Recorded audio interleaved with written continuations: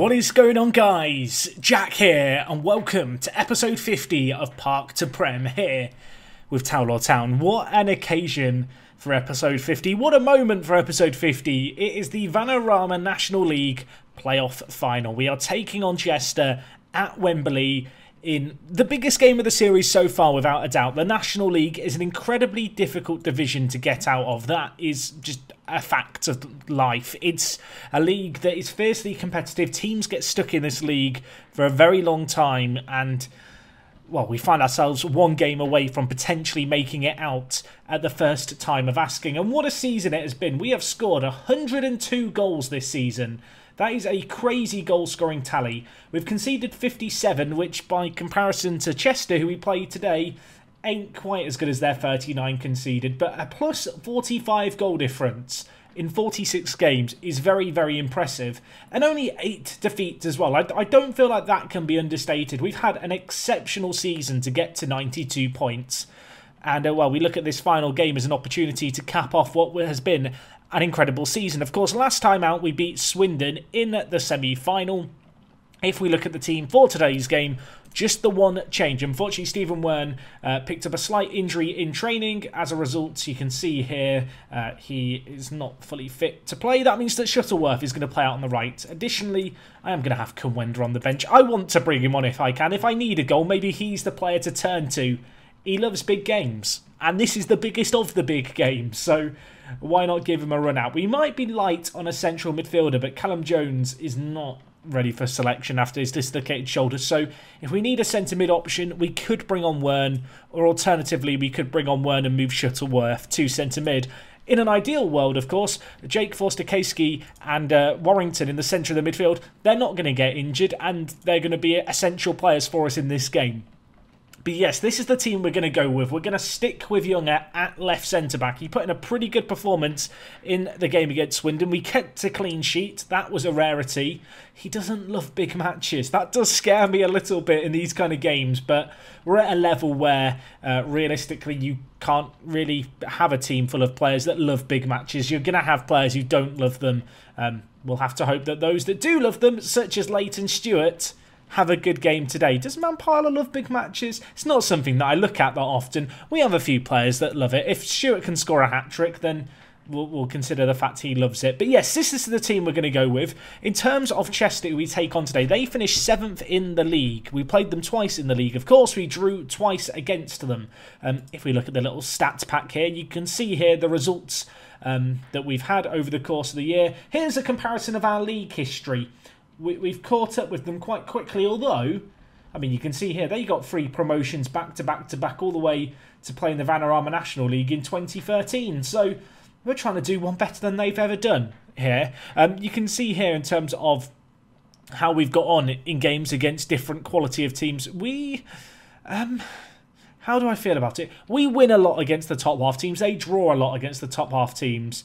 Um, yeah, it, it's it's going to be interesting for certain. Um, you can see here, Leighton Stewart, top goal scorer, their key player. I'm going to judge by the fact his face is plastered all, all over my screen. Is Zohore? He is looking like their key striker. He's got 16 goals and he is tired. Hmm.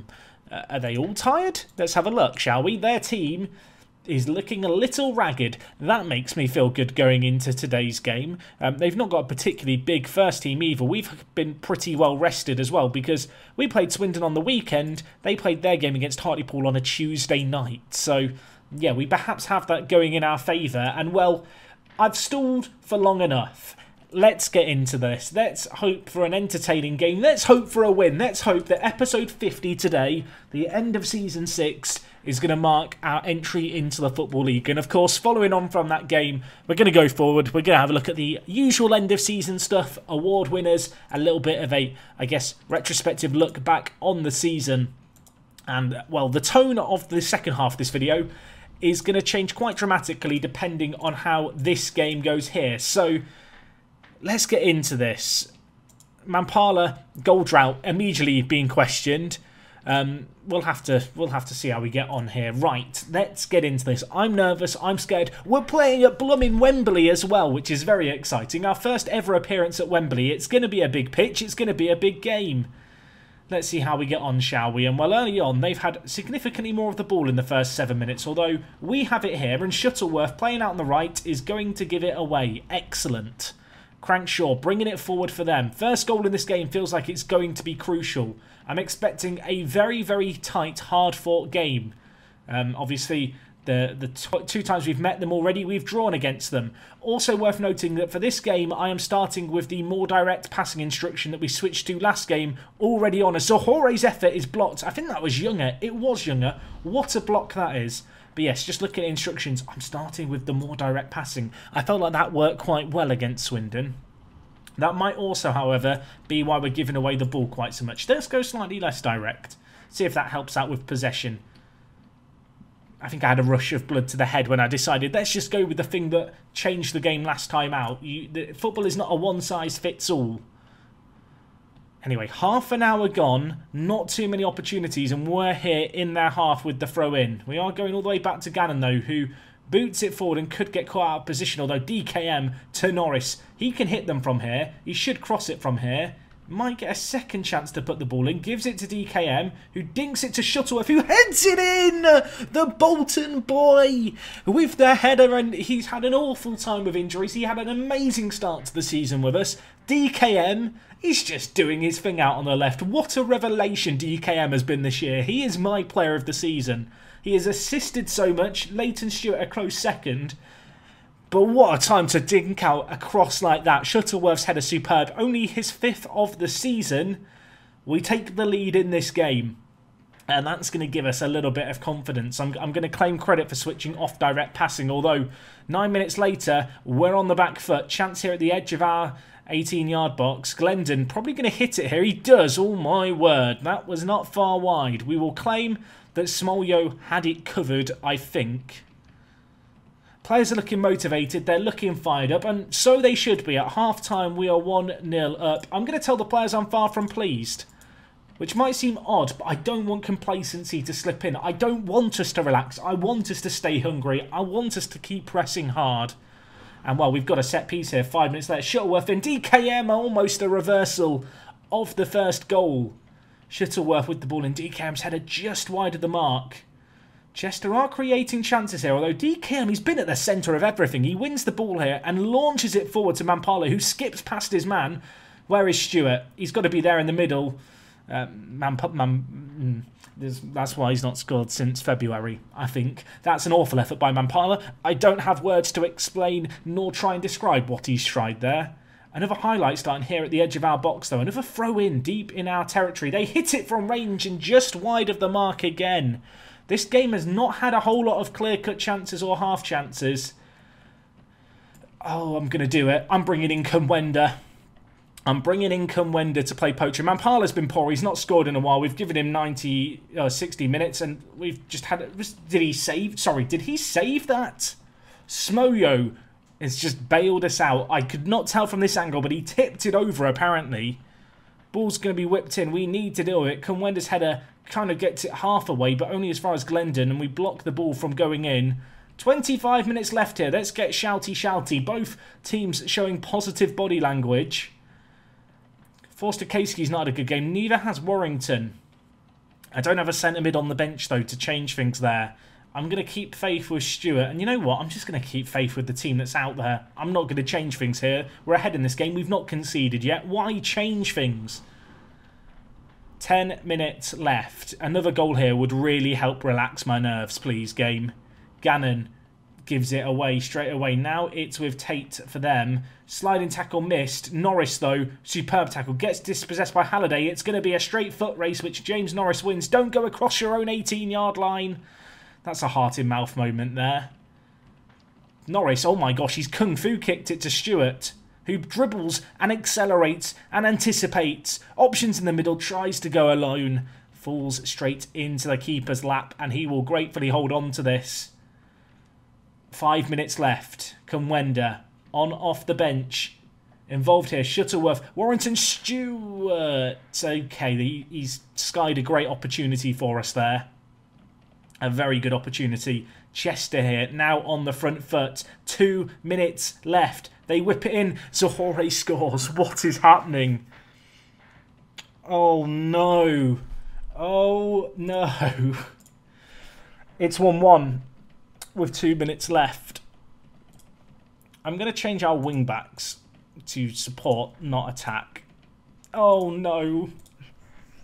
We could go to extra time here. There's a minute and a half left of added time. Chester on the front foot. Surely not. DKM, what can you do, my friend? Dinks it forward. Stewart's there on his own, skips past his man, through on goal. Can he finish it? Yes, he can! Leighton Stewart with possibly the last kick of the game. Two minutes into added time, scores. DKM with the assist. Stewart with the goal. And I mean, look at this. This is peak Stewart. Great dribbling, great acceleration, skips past his man. You think, can he score the one on one? Can he hold his nerve? Of course he blooming can. He loves the big game. He slots it into the bottom corner. That is gonna be that. We are promoted to the Football League. A crazy last five minutes to this game. Oh boy, right. Tow Law Town, League Two. It's not a title win, but we will we will lift that trophy aloft with our iconic green suit on. I mean, let's go through that. Can I click on the players here to go through them all? I can't. I could, I could try and guess who everyone is, but I don't know how politically correct that would end up being. But what performance that is by every player on the pitch. We didn't make a ton of changes. Kumwenda couldn't have the dream appearance that you hoped he might have. Smoyo, by the way, a 7.1 rating, which in football manager terms is exceptional for a goalkeeper. He made some huge stops in the game. Leighton Stewart, with that heroic last minute goal, man of the match. Kumwenda harshly gets a 6.9 rating despite getting two assists. That feels unjust, doesn't it? But what a win. 2-1. What what is Alexander going to set the budgets to be? That's that's what I'm wondering now. So we win in the National League playoff final. How much is he going to give us to spend? Boom. Initial wage budget of £60,000 a week and a transfer budget of £0. I mean, our current wages is less than 40,000, so I guess I can rejig some of that. Okay, yeah, I can we, we can shuffle around some money. Okay, that's fine. I was a little bit concerned by the zero transfer budget, but we have been promoted to League Two. I mean, Alexander Mukin has got to love that, right? He's got to. I'm loving it. Delighted at an unexpected promotion. Shuttleworth is happy that the promise has been kept and we'd get promoted. The board are loving the vision being achieved. Wow, what a season. And the player of the season for me, I said it was DKM. Leighton Stewart may have just snatched it away there in the final with that goal because, let's be honest, when you see your striker going through on goal like that, you usually just expect them to screw it up. And he actually held his nerve to tuck it into the bottom corner. What a season he has had. Incredible stuff. And I need to go and have a lay down and just calm down after that. What a crazy, crazy game. They had the better of the chances in the second half. They created some really good clear-cut opportunities. I did think when Zohore scored in the 89th minute that we were going to extra time. It was going to go the distance, but... Ah, oh, cometh the man, cometh the hour. DKM as well, two assists. Let's, let's not forget about this chap either. He turned up big when we needed him to as well. And, well, they now get to look forward to playing in League Two next year. Anyway, guys, I did notice that in the inbox items, I haven't got anything about the end of season awards and stuff. So what we'll do is we'll go forward. We'll have a little recap of the year, a look forward as well. Um, but yeah, what a game. If you have enjoyed this so far, drop a like on it. And, uh, well, Future Jack, take it away.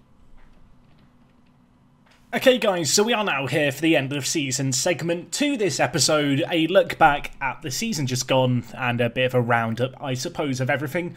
And it feels like quite significant and quite nice in many ways that episode 50 marks the end of our non-league adventure, at least assuming we don't get relegated, which given how things have gone so far, I kind of hope won't be the case.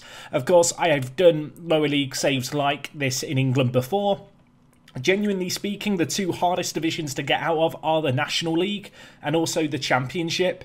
Uh, you know, they, they are the two divisions which, for me, are ones that I can get unstuck at. I've, I've done a lot of saves like this in Football Manager, so I kind of know what I'm doing. And I do feel like this transition now from the National League to League Two, I don't want to say it's one of the easier ones, but I feel like it's one of the ones where, because so few teams go down and so few teams come up, the actual best teams in the National League tend to be better than the worst teams in League Two year on year. So I'm hoping that that will work, of course, in our benefit. But we'll look back at the end of next season and work out whether or not I was right to say what I've just said. But that's my experience talking. Let me let me know if you do saves like this. Do you agree? Disagree? I'd be curious to know. Anyway, we broke the record for most goals in a National League season with 105 goals. That is a really really good little achievement. I'm not sure if that is of all time or if that's kind of pre the start date of the save game. I'm going to assume by the fact it's Barnet that it's perhaps uh, I guess it could be, it could have been while they were still in the league. I'm not sure. If that's the real life record, we beat it. If it's just the in-game one, well, it's the best performance in six years in the league. A record high in the division as well, finishing third not entirely surprising, this team hadn't been above the ninth tier before we took over. in terms of players inducted into the overall best 11, you can see here a few players have been included, five of them in fact. Callum Jones at centre mid has been included with an average rating of 7.12, 21 goals in 86 games for a regular centre mid is a really, really impressive return. Um, kind of crazy to think now that he's played 74 games for us across two seasons. Really has been a key part of our team. Mampala, DKM, James Norris, Anna Dunstan, the other players to join the proud history. And you can see the overall team now here. Ryan Ferguson, Sonny Best. In fact, I think everyone in this best 11 is still at the club, which is kind of funny. We can get we can get a quick where are they now, um, and have a look at this. Where are they now? Um, they're all still at the club. No one's left the club. We, we keep them in the museum, the under 23s, uh, which is kind of interesting. Um, you can see here the overall. Oh, was this the previous overall best 11? I'm very confused. Or is this before it updated? The likes of Kit Elliott and Midgley may have been removed from the history books with the new players being added. I'm not sure. Either way, end of season rewards, rewards, awards. Where is DKM in the fans player of the year? The fans don't know what they're talking about. Leighton Stewart, though, 38% of the vote. Warrington surprises me to get 31%, but when he was fit, he was very, very important to how he played, really built upon his good season last year. Whilst he didn't quite match the assists and goals, his actual contribution when he was fit was superb. But unfortunately, this year, did suffer 11 weeks of kind of downtime with injuries, which makes me even more surprised that he got as high as he did in the fans' vote. Mampala also getting 20%. He got goal of the season. Um, let's have a look at it, shall we, against Halifax. Of course, Mampala, I feel like we're going to remember this year for the fact that he hasn't scored since the start of February. He has gone on a long drought, and whilst he has contributed to goals, he's not really scored a great deal. This was a, a good goal. I'm surprised that's goal of the year, but it, was a nice run and finish, I suppose. Smoyo won signing of the year. I'm glad he appears somewhere on the rewards and awards list because he deserves to. Um, I deserve a reward for signing him. He deserves an award for playing for us. You can see here his contract has been extended due to the promotion contract extension clause being triggered in his contract. I guess that's triggered for a few players. I didn't realise that that had triggered. Let's have a look. Ex extension is, did I not get a news item about it? Why why is it typed like that? Contract. Du, du, du, Interesting. I haven't got a news item through yet, but um, he was a player who, of course, we had a contract extension after promotion clause in his contract. Did anyone else have them? Oh, DKM had one, of course. So he's now on a, a five-year deal from this point here, which is great. Brenia Diaz has had a contract extension trigger. I don't think Gannon has. Either way, um, great to see Smolio's contract get extended. That's going to make it even more difficult for a team to try and steal him away from us. Also, Warrington getting Young Player of the Year. Age 22, in his third year at the club. Feels a little generous to give it to him. Anyway, our end of season review you can see here. We were expected to be in the running for a playoff place, but performed even better by securing promotion. It was a superb season. We're going to pretend the cup competitions didn't happen because they were awful. Average attendance 458. That is not great. We will hope that with more teams coming to visit us in League Two, more big teams is what I'm trying to say. There'll be more fans coming to see us, and so the average attendances will continue to go up. Of course, Tow Law is a town where about 2,500 people live. There's not a massive pool of fans that we can potentially attract. It'll be interesting to see as we continue to climb up through the leagues whether or not that's a factor. You know, will, will we ever get more fans coming, or is this the, the limit? I'm not entirely sure what to expect. You can see here the the Tow Law Town. Where are they now for our first ever season, which is kind of interesting. Players like Luke Ferguson, who has retired from football after being released, I guess. Mark Kennedy retired from football. Michaela retired. Did anyone survive? Russell Carter. They've they've all gone. Everyone. I guess I was clicking through all the players who have retired. There's a few players still around. Jordan Jowers plays for Glasshoughton. That sounds like a fake place to me. Um, you can see here Ben Holmes is at New Mills and Tyrell Palmer. Never forget, he, he, he's still at Consett. So it's what you get for leaving us. You could have been part of this adventure. You chose to leave to go to our local rivals. Callum Roberts playing for Wickham Wanderers. Callum O'Neill turns out for Witten and Butty for Workington. Did anyone end up at a bigger team? I don't think they did, really which is interesting. I, I, didn't know someone might end up climbing up. Anyway, Club Vision, this is going to have been refreshed because we got the early promotion. So let's have a look at things here. Sign and sell players for a profit. We're doing that anyway, so that's fine. Although the fact that that's a part of our five-year plan makes me feel like our chairman isn't a millionaire and we've been lied to. Uh, aim for next year is to avoid a relegation battle and the year after that is still just to get a top half finish. Um, obviously, we've been given quite a hefty wage rise, which is good, and we don't have too many players with players with um, contract uh, clauses whereby when we get promoted, they get wage rises. So that's going to work in our favour. I know lots of players naturally ask for that. I make a habit of removing them um, intentionally. We can negotiate things here. What would I like to negotiate? I don't. I don't like this new thing here, but I can't remove it. So sign and sell players for a profit. I think we should be reaching the playoffs of the EFL League Two in two years. So I'm, I'm going to up things a little, up the ante perhaps. But of course, in League Two, uh, the top seven teams all have a shot at promotion. Three teams go up automatically, and then there's a playoff spot as well.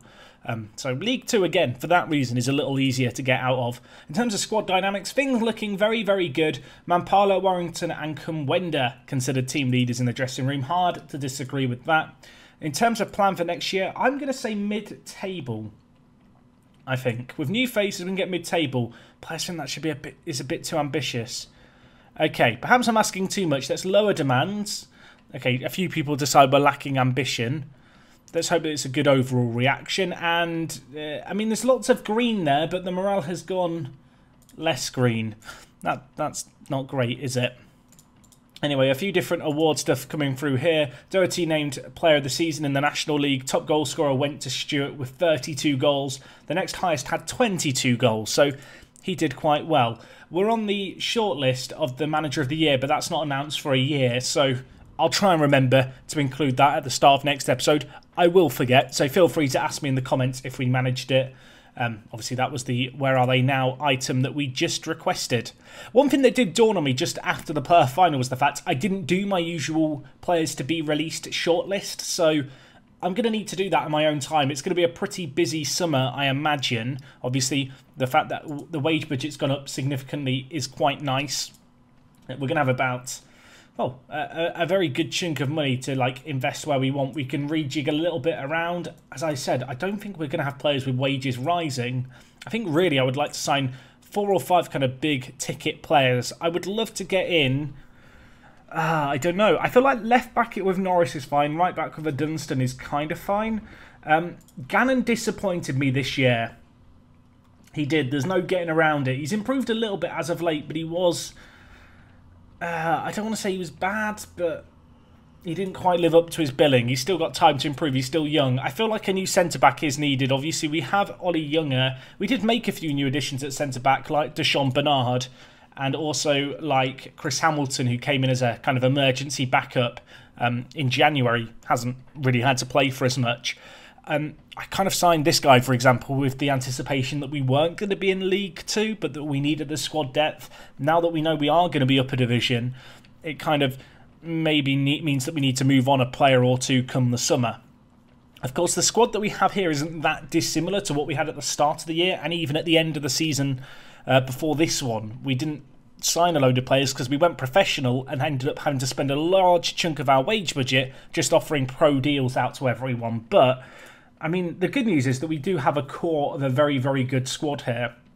There's players like Alex Lindsay and Ryan Bart who, I don't know, I, I thought they were going to be better than they were. I mean, apparently Lindsay could have potential to be a League One player and has a current ability to be a National League player, but when we gave him opportunities, he didn't play well. Neither did Ryan Barr. The players who they played a role in the team, you know, the season uh, before this one, but going into next year, can I can I trust them to do it again? Probably not. I feel like I don't know. Uh, it's tricky. I, I'm still not decided if I want to keep playing the 4-4-2 going into League Two because on the one hand it has worked. We've got promoted with it. On the other hand, there's definitely games where we suffer with the two-man midfield. And I do wonder if switching to something a little more conventional, like a 4-2-3-1, could could be a little smarter. The issue being right now that we don't have the attacking midfielders, you know, to necessarily play that setup, and additionally, it would be a bit of a juggling act. I feel like to keep all of our strikers happy. I mean, in terms of goal scorers, we already talked about it, but Stewart and Mampala led the way. DKM, 14 goals and 20 assists is an absolutely crazy return. Jones getting nine go- goals, uh, Wern with eight, and Misador with seven, although he went on a very, very good start to the year and then completely dropped off a cliff to the point where I don't think he scored. He scored one goal in the last 20 games. That really tells you a little bit about how his year went out. And his average rating was so high to begin with, and it's completely fallen off. Kumwenda, I don't want to say he found his limit this year, but he probably found his limit this year. He's the leading player for National League North and South sides. Going into League 2, it's going to be tricky. I don't really want to lose him. I want to keep hold of him. But at the same time, it's a case of he, he might have to go in the under 23 museum alongside such names as Romario Vieira, Voltman, uh, Andre um, Brooks. If you're wondering, Sonny Best, how's he doing? He's loving it. He's getting paid £400 a week to chill in the under 23s where we don't play competitive games. That might change though with a promotion now to the Football League. I believe we will now get entered into a reserve league. So he'll get some football there, and of course Ryan Ferguson, the postman, still doing doing his thing. I actually gave him a new contract recently, so he's here for another three years, which is nice. I, am a generous guy. What can I say? But all in all, it's been an interesting year. I feel like we've overachieved in a way, but then when you look at how many goals we scored, we were never not going to be in and amongst the top teams just with a goal scoring record like we had. Smolyo for me the breakout talent. This guy improved so much through the year, like an incredible, incredible amount. Um, I mean, obviously you can look at this graph here, but it's kind of pointless. But if you actually just look at his general attribute growth during his time here, let's just set it to regular goalkeeper. You can just see how much certain things have improved, particularly his aerial reach this season and the season before. They've, they've gone through the roof, and hopefully that's going to continue to change. Um, if we just look at his last year of growth, you can see here slight improvement to his physical ability, and then slight improvements across the board. But you know, lots of plus ones. His jumping reach went up by two. That's always a nervous thing with a young goalkeeper that has low jumping reach. It's kind of a question of are they going to grow? Are they going to get a bit better with their jumping? And Smolyo certainly has.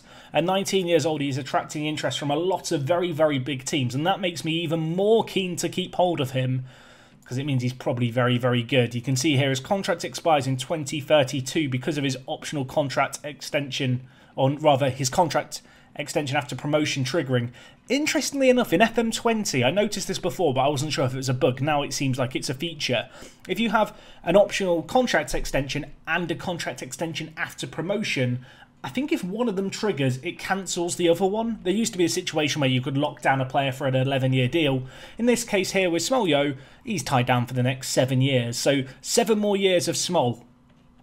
Make of that what you will. I'm very excited by it. In terms of average ratings, top performer Leighton Stewart, Warrington not far behind, D came up there as well. It's pretty impressive that Mampala despite his goal drought, is so high on this list. You can see his average rating in his last 20 games has been a 6.92. Um, the way this graph works as well, by the way, is this is the whole team's last 20 games. So if a player only has half this chart filled, they only played about half the last 20 games the club's played. In Mampala's place here, he's played 19 of the last 20 games and got three goals and one assist. That's a little bit concerning going up a division, but at least in the eyes of our staff, obviously National League quality player and has the potential to be a leading League Two player in the future. Um, so I'm going to keep some faith with him. I, I want to believe it was just a little bit of a blip. And 18 goals for the season is a crazy, crazy return, and it makes you realise just how good he was for the first half of the year that he ended up with as higher kind of performance as he did. Uh, Forster Forster Caskey made a massive impact for us. I know it doesn't really show. I feel like set average ratings for centre mids are never particularly flattering, but he played nine games for us after he joined us in March time. And he was a key part of our team. We had some injuries at centre mid, obviously. If we hadn't signed him, I don't think we would have won in the playoffs because we would have been without Callum Jones and we wouldn't have had that alternative kind of box to box midfielder, a slightly less creative midfielder, but someone who can get up and down the pitch. You can see the two of them compared alongside each other here. I actually feel like they're quite complementary to each other. But yeah, for me, Forster Caskey was a really smart move at the time. I didn't really know how big an impact he was going to have. I just kind of eyed him up as very good player who I'm aware of in real life. He used to have some good potential. Surprised that he got released by a championship club and no one else picked him up. And obviously, getting into March time, having been out the game since the previous summer, was willing to take the step down, and I'd like to think he isn't going to regret his decision now. Of course, going into the league season this year, the media prediction for us originally was first. It then quite quickly settled down to fifth, which I think is a little more realistic.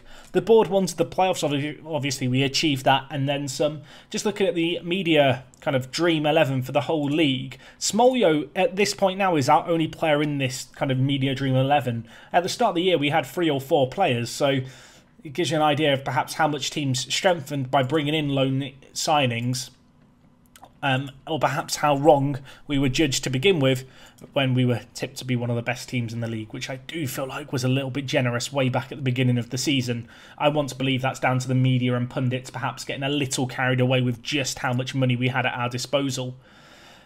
But on the whole, a very good year. In terms of immediate signings, we don't need a goalkeeper. I think a centre back, maybe a right midfielder. DKM out on the left, I think, has earned his spot in the team for next year. Between Shuttleworth and Wern, we have kind of two quite good backup-ish players, but I don't know if I trust either of them to step up. I feel like Shuttleworth is better than Wern, very consistent, only 19 years old with some potential, but given the injury worries he had this year and has had throughout his very short career, it does make me wonder if he's actually going to be a reliable long-term solution especially playing out on the right hand side. You know, he just doesn't have great acceleration or pace, and I feel like the further up the footballing pyramid we go, the the more that pace becomes important, and so his general lack of it could come back to bite us in the ass.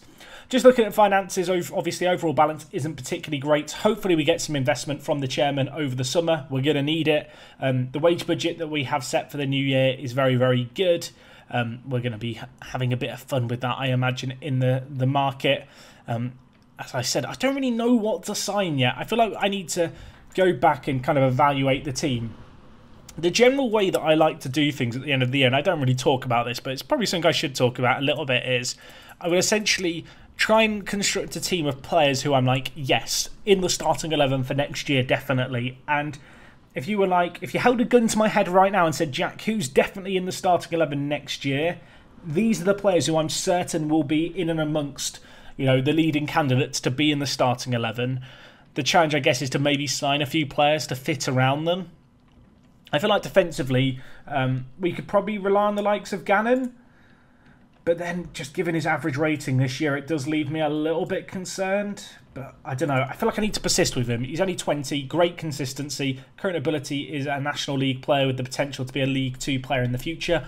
I want to believe that judgment is off because the star ratings are pretty good in his favour. Of course, these two things, star rating and just the pros, they are kind of guidelines set by different staff members. You can't really take them as gospel. There's something that I like about Gannon.